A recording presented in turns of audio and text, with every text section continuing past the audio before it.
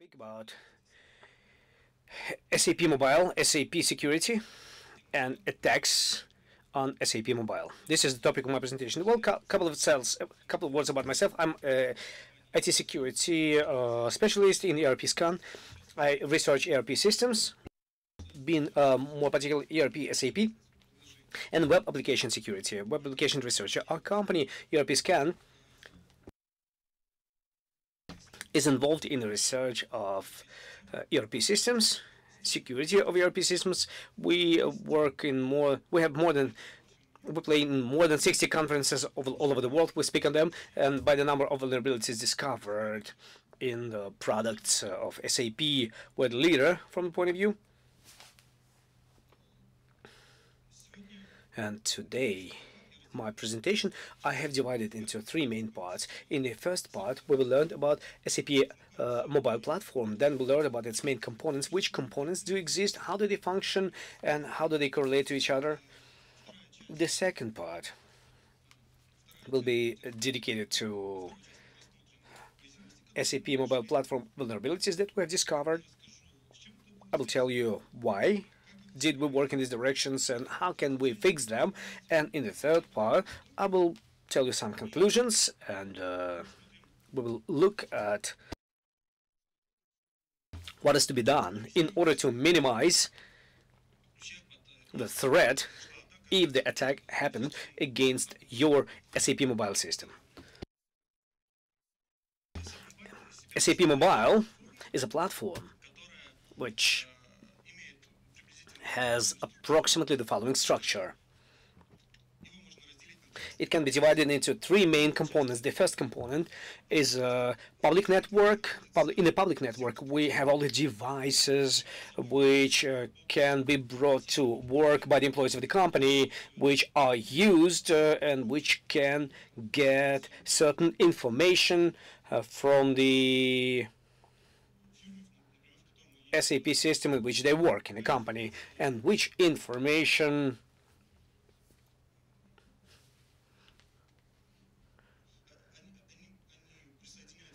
they get connected by their devices to SAP mobile platform, which is already inside of the corporate network.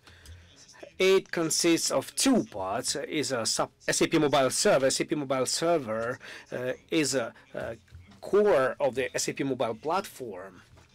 And its second part is a customer database which contains all the information about SAP platform. It has uh, information about devices which can get connected to the SAP platform. It has the information about the users, etc. And the third part is a back end where the services are located of these ERP systems. It's the back end, and SAP Mobile Platform gets the information from devices, respectively analyzes which of this information from the back end should be pulled and transferred to the client devices. It has four more versions. Uh, right now we are going to look at 2.3 and 3.0. Uh, as you can see, with the increase of the versions, uh, with the development of SAP mobile platform, we see the higher number of protocols being supported. And you can see which uh, protocol on which level does it work. One level pointed out like a Sapphire, and we are not going to speak about it today, but afterwards we are going to tell you separately in a separate presentation or we are going to tell you about a security about of uh, Sapphire. SAP FRA. Well, SAP platform consists of three main services, which are SAP Control Center. SAP Control Center represents portal, which is being used by the admin to control SAP mobile platform the working process uh, is CC service, which has four main ports, uh, 2100 and four nines are used inside of these processes and port 8282 and 8283 is used for connections between HTTP protocol HTTP protocol and transfer this information to the portal. And I would like to say that 8282 port uses by default HTTP port, which redirects the calls to HTTPS, which is located on the port 8283. The second service, SAP SQL Anywhere. SAP SQL Anywhere is a database which was developed in 1990s and in the year 2006 when they have implemented all the main components and services of parallel processing of highly loaded services they have started developing it uh, more widely and they started using it in a wider set of products. And when they have procured a Sybase company in the year 2010, they've started uh, SAP Anywhere, and they started integrating all of this into their old products. SAP Mobile Platform, you can use not only SAP uh, SQL Anywhere database, but you can also use Oracle database as well, and MS SQL as well. SAP SQL Anywhere is a very flexible database, which is which uses big number of connectors and other programming languages. And you can easily get connected to this database with different languages, and you can get data which you need, for example. In normal working condition, it listens to three main uh, processes which are responsible mostly for data processing. Uh, the uh, third service is SAP Mobile Server. SAP Mobile Server uh, represents six main services, but today we're going to look at two, uh, Mobilink and Admin Web Service. This is a core of the mobile SAP platform, which is responsible for processing requests which are coming from the portable devices. Mobilink is a process, it's a software which is responsible for syncing data between uh, server and client. The client can get connected to the server through the internet with the usage of uh, all these protocols listed here.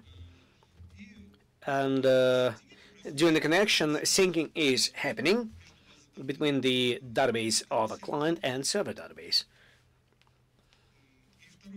And the second service that we're going to look at is admin web service. Admin web service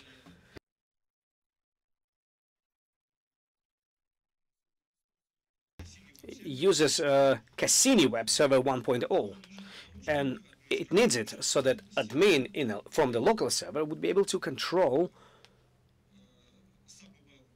SAP Mobile Server, so he can use methods listed here in order to create uh, administrators, uh, create users, remove the email, etc. So let's move on and let's look at vulnerabilities that were discovered by us during our research. The first one is decrypting of the SAP Mobile Platform GOIP, GIOP protocol. GIOP protocol is used by the process Mobilink in order to administrator opens the console, gets connected to the SAP Mobile Platform to control packages which are uh, which can be removed uh, on the SAP mobile platform by the admin. He can also look at logs that were generated and receiving information about the general condition of SAP mobile platform as such when he gets connected through the console to SAP mobile platform, he sends requests which looks like that. And you can see here that in this request, he transfers certain information, which fields have the name user and pass.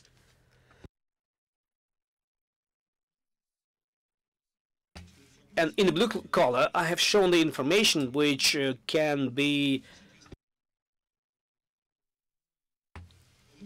the name of the user, login, and the password of the user. Of course, it's not possible to see it in an open way because it's been uh, closed and uh, it's been encrypted, but we have found the function which is responsible for decryption of this data. Then we have developed a software, we developed a program, and if you will able to look here, it doesn't require very tough algorithm of coding. It uses only the shift, the algorithm of shifting is being used here. So we have developed a software, a program, which gets at the input these uh, encrypting encrypted data, and as a consequence, at the output, it gives us login and password that were transferred through that were transferred by the administrator of the server in order to get the connection. Let's remember this program because afterwards we will also use it. The second vulnerability that was discovered, it's XXE in the SAP mobile platform. XXE represents a vulnerability which is related to injection of the internal external entities into XML and wrong processing on the server side of those. The vulnerability has received this particular CVE that you see here, 2015-2013, and SAP portal, I've already shown it to you. It has uh, such interface. It's uh, development an action script with usage of Adobe Flash Player capabilities. Uh, during the decumulation of the file, which is used here, you will not be able to see any other references and links, but in order to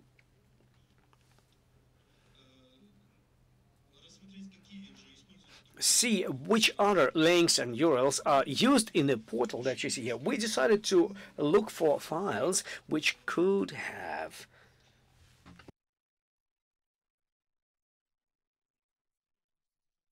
which could contain information which could be interesting for the hacker. Well, two files which called web XML and service config XML, we decided to look for them, and we found one of these files, which is located uh, on this particular uh, pathway.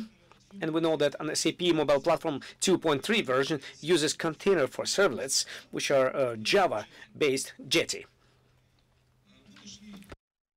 So we discovered this XML file, which contains this particular record, and you can see that it has the message broker servlet, whose address is not completely specified.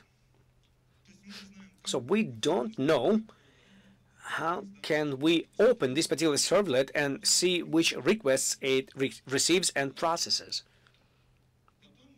Then we have decided to search for a file uh, with the name service config XML. We have discovered this file which contains this particular record, and this is the structure of this record. And it describes the name of the server, the port, and a full pathway to this particular servlet. Then, in the same structure, you can see a Java, the pathway to the Java file, which processes this request sent to this particular servlet. So the further research uh, gave us the possibility to discover that this Java file uses XML parser, which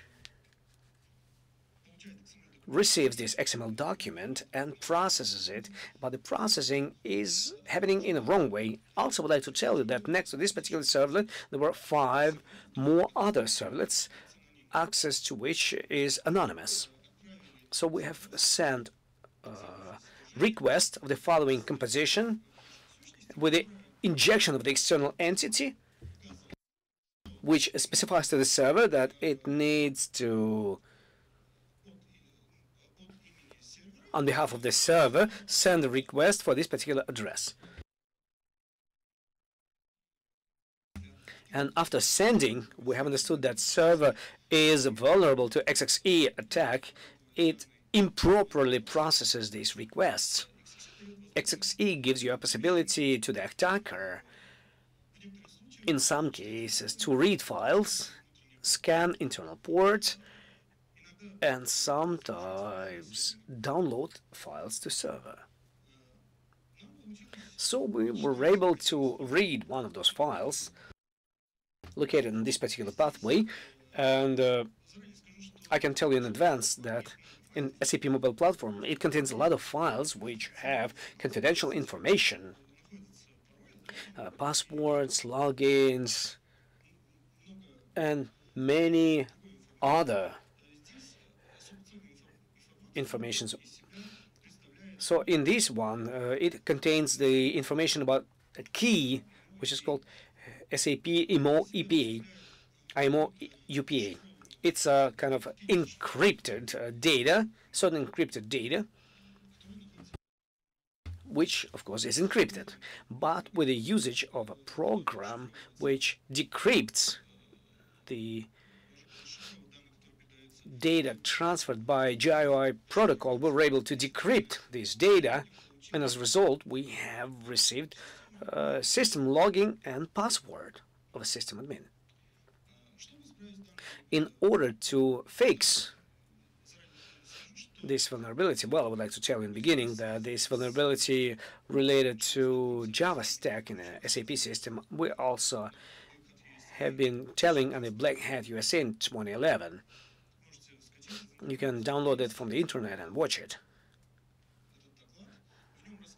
In this presentation, we've been telling about servlets which can be described in web XML files, which are located on a server. Also, detailed information, well, I cannot disclose it to you, but nevertheless, we have found another servlet which is responsible for generation of logs and their reading, access to which is also anonymous, so the attacker uh, can send a lot of requests to the server, which will generate during each request, uh, the server will generate separate log file with a unique name. In other words, the attacker can send a lot of files, and by these, he can uh, overload the server's memory. Submobile server. In order to fix this vulnerability, SAP recommends to install the node, which is uh, specified here. Well, the next vulnerability, ACRF uh, SAP mobile platform 3.0. SAP mobile platform 3.0 represents, well, this is the admin cons console, and it is simply a very flexible portal through which administrator can get access to all information he needs about the content of the SAP mobile platform. He can get logs, he can add repositories which have uh, applications that he could use in the future. He can create administrators, he can remove logs, etc., etc. So, we have discovered SCRF uh, vulnerability, which gives the possibility, uh, for example, the admin goes to a certain site to look some pictures, for example, cats in here, and the attacker, knowing in advance that he will follow this link, injects into this page JavaScript code of the following content. After opening this page of the administrator, by the administrator, this JavaScript code sends request to SAP mobile platform, the following content is being sent. So it's a pathway all the way to servlet, which processes these requests, and post request, which has uh, username and password to create the administrator on the server. Usually it's this CSRF attack, and he can create administrator uh, Afterwards, uh, the attacker can use this administrator uh, identification data for his own purposes uh, in order to get to enter the portal, to remove these logs, and there's also some other requests which are subject to CSRF attack. the attacker can create repository, remove server logs, create applications on SAP mobile platform, and uh, do many other things. So CSRF token is not present here. So the SAP company recommends to install SAP Note of the following ID to fix this particular vulnerability. SAP Mobile Platform also uses Cassini 1.0, which is a web server. It's a very simple web server. Cassini does not support any authentication, does not support HTTPS traffic. It listens to a local port and processes uh, requests to static pages. It also doesn't have any CSRF token. It's a request to create administrator. So the attacker can also make a simple CSRF attack, but with one precondition that the admin, admin will enter the page which sends these particular requests from the server. Developers of Cassini, they do warn, I don't know why SAP uses it, uh, they warn that Cassini server 1.0 cannot be used because it's subject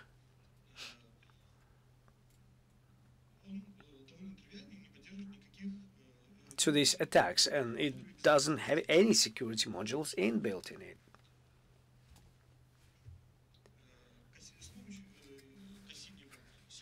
So to the Cassini web server, you can send uh, requests, uh, for example, to create administrators, uh, to remove administrators, to remove users, and remove certain mails. So with the help of CSRF attack, you can realize all these methods and uh, by these the company can have significant damage. The next vulnerability is related to database uh, that we have used in a given case, we have used vulnerability of buffer overflow in SAP SQL Anywhere.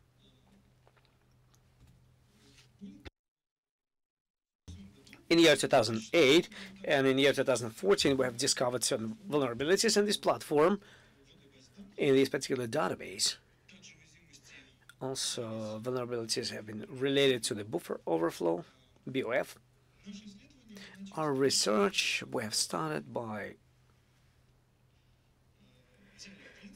taking client part of SQL Anywhere and a server part, and we have tried to create connection, a client-server connection between them.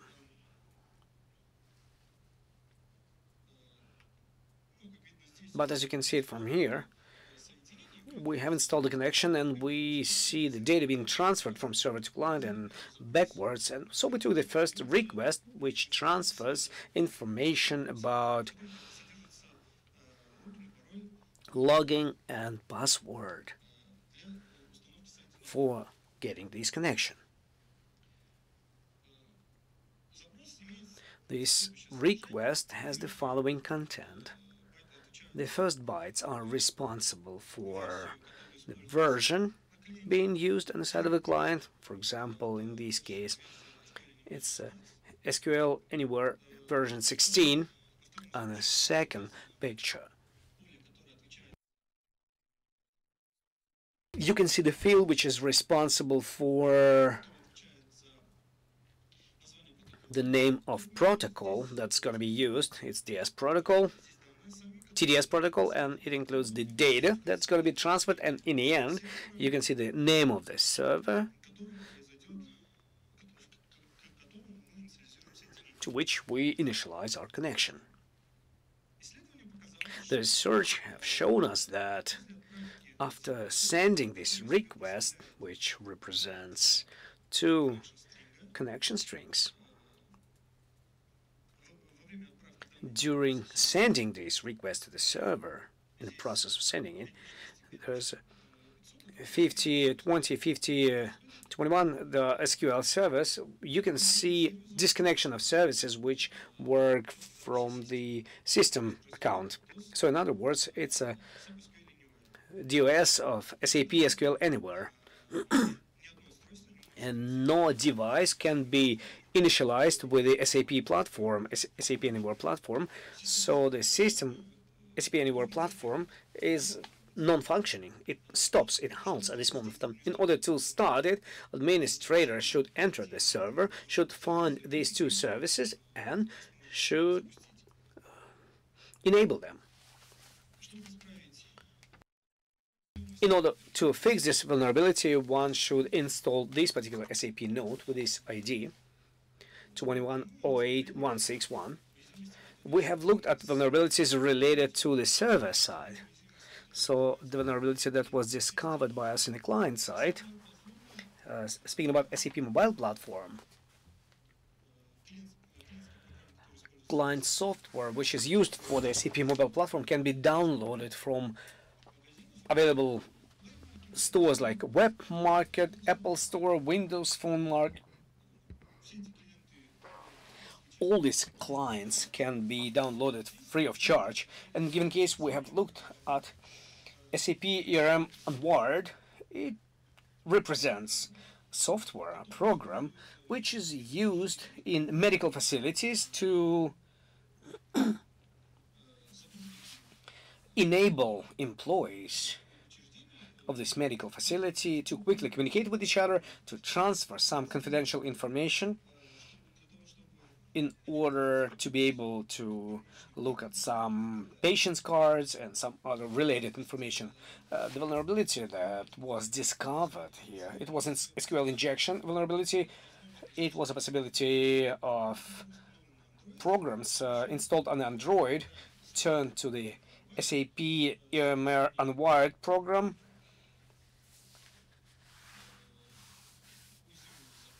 uh, to send vulnerable uh, request to the content provider. And content provider, it's a part of Android program, which is responsible for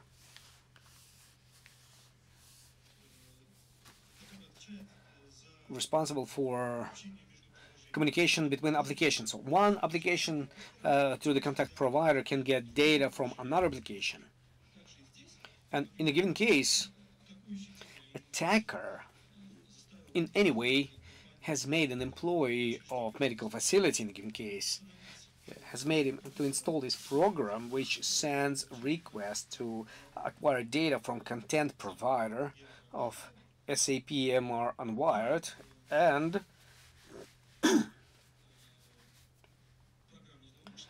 the uh, program of the violator can get the data from the database of this particular software.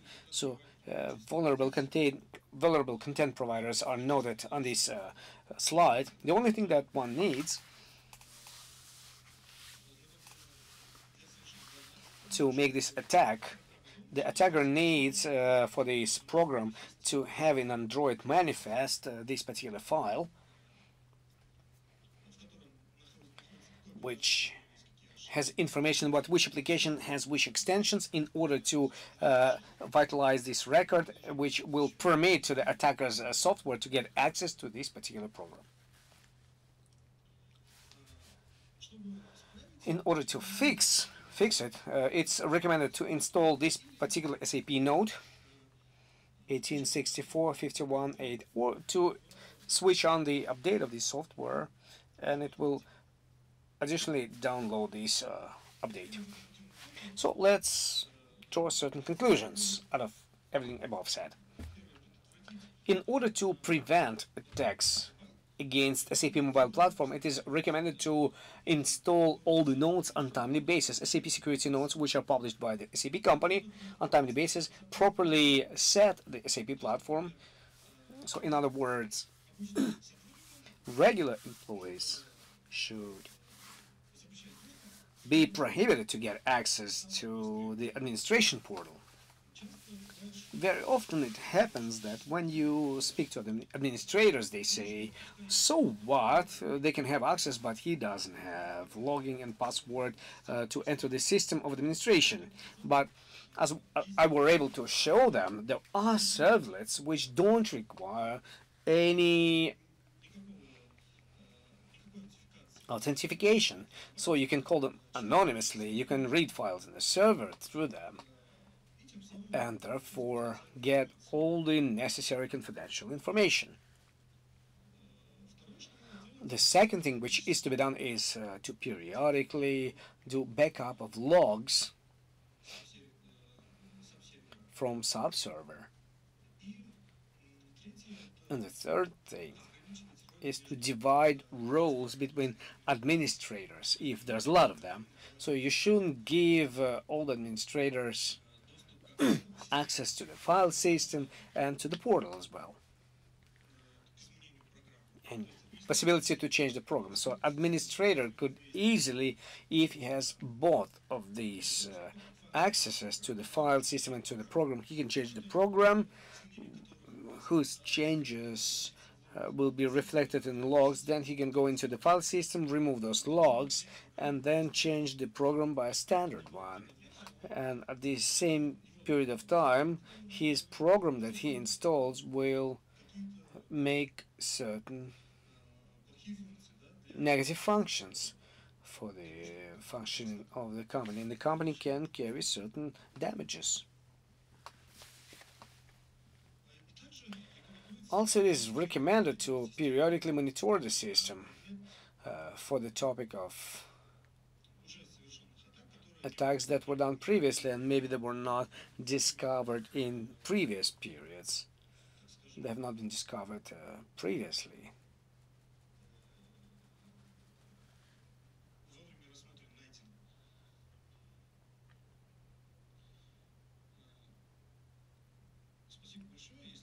Well, that's it from what I wanted to tell you. If any questions, I will readily answer them.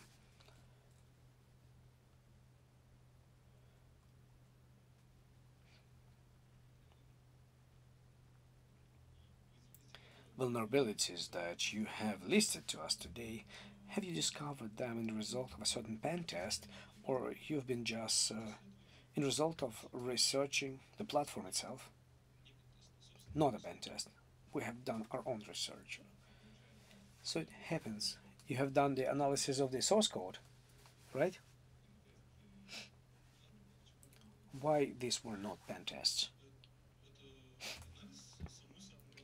it was analysis of SAP mobile system that was pre-installed uh, in our premises. It was not a black box testing, but it was a white box test. We had an access to the server part and the client part as well. And then you have found the proper security notes for them. Security notes were produced on the basis of those vulnerabilities that we have discovered. Oh, I see. Thank you.